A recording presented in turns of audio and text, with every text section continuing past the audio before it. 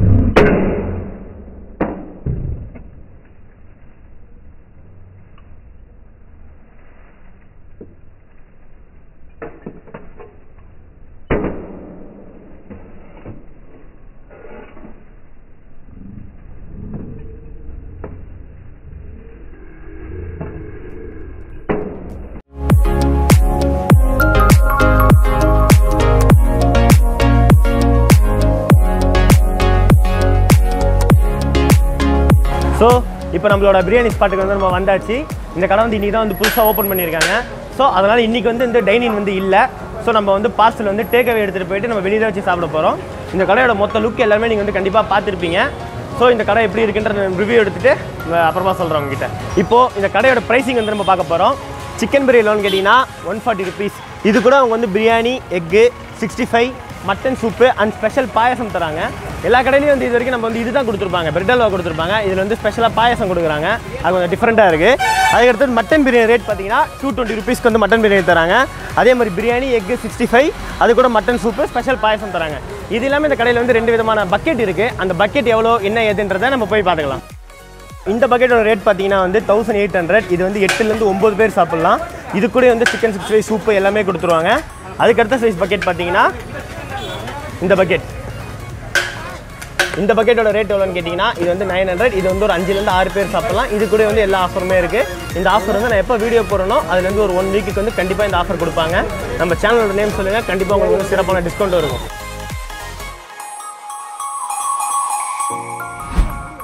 So இப்போ பார்த்தீங்கன்னா நம்ம அந்த கடையில் வந்து பிரியாணி பார்சல் வாங்கிட்டு இங்கே வந்தாச்சு.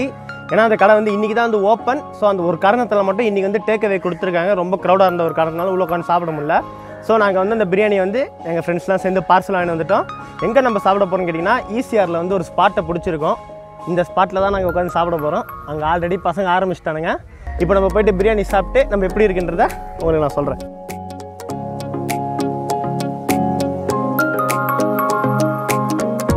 இப்போ ஃபஸ்ட்டு பார்த்தீங்கன்னா இந்த கடையோட பாயசத்தை தான் நம்ம வந்து சாப்பிட்டு எப்படி நம்ம சொல்ல போகிறோம் எம்ஏ எல்லா கடையும் பிரெட் அல்வா தருவாங்க இந்த கடையில் பாயசம் கொடுத்துருக்காங்க.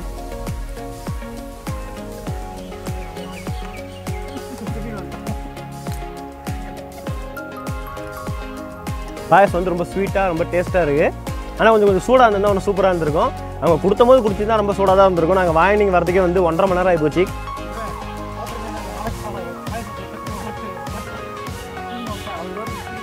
பாயசம் செம்மையாக இருக்குது எல்லாம் இன்னொரு பாயசம் கொடுங்க. இன்னொரு பாயசம் குடிக்கும் இன்னொன்று குடுறா ஜிகிர் தண்டா தூ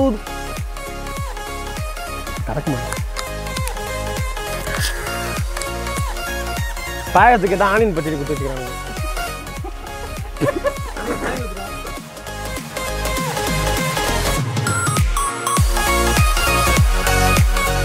இது எல்லாரும் நம்ம வந்து அந்த கூட்டத்தில் சிக்கி தவிச்சு வாங்கின அந்த பிரியாணி இப்போ நம்ம கையில் இருக்குது இதை நம்ம சாப்பிட்டு பார்த்துட்டு உங்களுக்கு எப்படி இருக்குன்னு நான் சொல்கிறேன்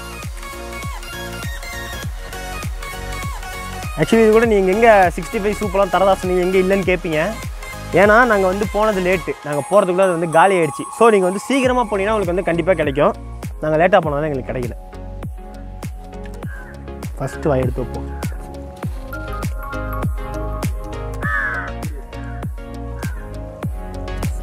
அடுத்து.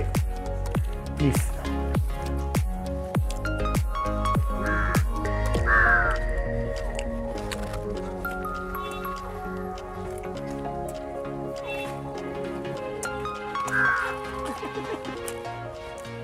ஆக்சுவலாக இந்த பிரியாணி வந்து ஒரு மாதிரி டிஃப்ரெண்ட்டாக இருக்குது மற்ற பிரியாணி டேஸ்ட் மாதிரி இல்லை?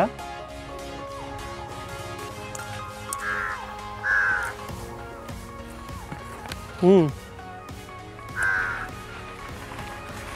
மாதிரி உள்ளே போகும்போது ரொம்ப கஷ்டமாக இருக்குது ஏன்னு தெரில நாங்கள் வேறு கடையிலேருந்து இந்த பஸ் தந்தூரி சிக்கன்லாம் வேணுங்கிறோம்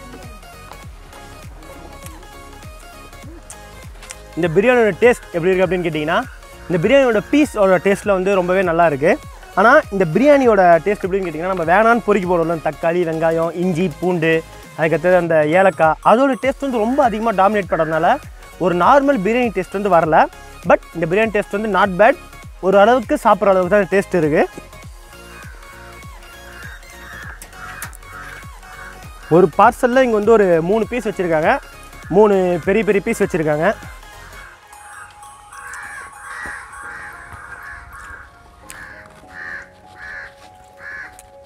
நான் ரொம்ப பெருசாலாம் இந்த வீடியோ நான் இருக்க விரும்பலை.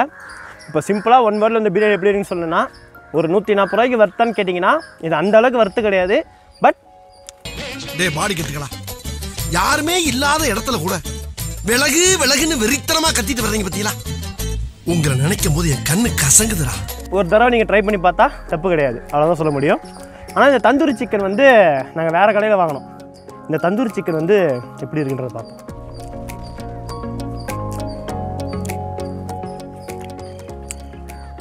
தந்தூரி சிக்கன் வித் மயோனிஸ் ஆஹா. ஆஹா. அல்டிமேட்டாக இருக்குது இப்போ ஆனால் அந்த பிரியாணி பார்த்தீங்கன்னு வச்சுக்கோங்களேன் ஒரு மாதிரி ரைஸ் வந்து சீரக சம்பா ரைஸ்னு அவங்க சொன்னாங்க. ஆக்சுவலி அது வந்து சீரக சம்பா ரைஸ் ஆட் பண்ண மாதிரி இல்லை. நம்ம இந்த வீட்டில் பொங்கலுக்குலாம் போடுவாங்களா அந்த அரிசி ரேட்டாக ஆட் பண்ண மாதிரி ஒரு ஃபீலிங்காக இருக்குது அண்ட் அரிசியோட குவாலிட்டி வந்து கொஞ்சம் சுமாராக தான் இருக்குது ரொம்ப சூப்பர் குவாலிட்டிலாம் யூஸ் பண்ணல போகலாம் ஆக்சுவலி இந்த ஷாப் வந்து இன்றைக்கி தான் ஃபஸ்ட் டே ஸோ வந்து இது இதை வச்சு தான் அவங்க வந்து நம்மக்கிட்ட கேட்டிருக்காங்க. எப்படி இருக்குது நீங்கள் அப்படியே சொல்லுங்கன்னு தான் சொல்லியிருக்காங்க. ஸோ இதை வச்சு அவங்க ஃப்யூச்சரில் வந்து இம்ப்ரூவ் பண்ணால் நல்லாயிருக்கும். பட் ஒரு ஒன் ஃபார்ட்டி ருபீஸ்க்கு இதோட நிறைய பிரியாணி வந்து நம்ம டேஸ்ட் பண்ணியிருக்கோம். பட் இந்த வந்து ஒரு ஒன் ஃபார்ட்டிக்கு வந்து ஒர்த்து கிடையாது. ஓரளவுக்கு ஒரு சுமாரான பிரியாணி தான். இது யாருக்கு அப்படின்னு கேட்டிங்கன்னா சப்போஸ் இந்த வீடியோ வந்து அந்த கடைக்கு சம்மந்தப்பட்ட யாராவது பார்த்தீங்கன்னா அவங்களுக்கு தான் என்னென்னா உங்கள் பிரியாணி மேலே வந்து நாங்கள் வந்து ரொம்ப எக்ஸ்பெக்டேஷன் வச்சுருந்தோம். பட் அந்த எக்ஸ்பெக்டேஷன் வந்து அந்த அளவுக்கு வந்து பெருசாக மீட் ஆகலை. ஏன்னு கேட்டிங்கன்னா அங்கே பிரியாணி சாப்பிடும்போது கொஞ்சம் கொஞ்சம் ப்ராப்ளம் எங்களுக்கு வந்து ஃபேஸ் ஆச்சு. எல்லாருக்குமே நாங்கள் ஒரு அஞ்சு பேர் சாப்பிட்டோம். அஞ்சு பேருக்குமே வந்து எங்களுக்கு அந்த ப்ராப்ளம் வந்து ஃபேஸ் ஆச்சு. என்னன்னு கேட்டிங்கன்னா பிரியாணி சாப்பிடும்போது ஒரு மாதிரி கஷ்டமாக இருந்துச்சு உள்ளே போகிறதுக்கு அண்ட் சாப்பிட்டு முடிச்ச பிறகு மை வயிற்றுக்கு மேலே வந்து கொஞ்சம் பெயினாக இருந்துச்சு. அது ஏனே தெரில அது வந்து என் ஃப்ரெண்ட் வந்து இந்த மெடிக்கல் ரிலேட்டடாக இருக்கான். அவங்ககிட்ட கே கூட தான் இருந்தான். அவன் என்ன சொன்னான்? இதில் வந்து பேக்கிங் சோடா வந்து ரொம்ப அதிகமாக கலந்துருக்காங்க. ஸோ அதனால தான் வந்து அப்படி ஃபீல் ஆகுது அப்படின்னு சொன்னால் அந்த மாதிரி பேக்கிங் சோடா ஆட் பண்ணுறதை கொஞ்சம் அவாய்ட் பண்ணிவிட்டு அண்ட் இவங்க போட்டிருக்க வந்து எந்த விதமான கலரும் இல்லாமல் அது மாதிரி சம்திங் போட்டிருந்தாங்களா அந்த இமேஜ் அவங்ககிட்ட காப்பிட்டிருப்பேன் பட் அதுக்கு ரிலேட்டடாக வந்து இவங்க பண்ண மாதிரி தெரியல. இவங்க வந்து சமைக்கும் போது போடாமல் அதுக்கு முன்னாடி மசாலாலே கலந்த மாதிரி ஒரு ஃபீலிங் இருந்துச்சு. ஸோ இதெல்லாம் தவிர்த்து ஒரு ஒன் ஃபார்ட்டி ருபீஸ்க்கு இந்த பிரியாணி வந்து ஒர்த்தான்னு கேட்டிங்கன்னா ஒன் ஃபார்ட்டி ருபீஸ்க்கு வந்து இதோட நல்ல பிரியாணி இருக்குது நான் சொன்ன மாதிரி.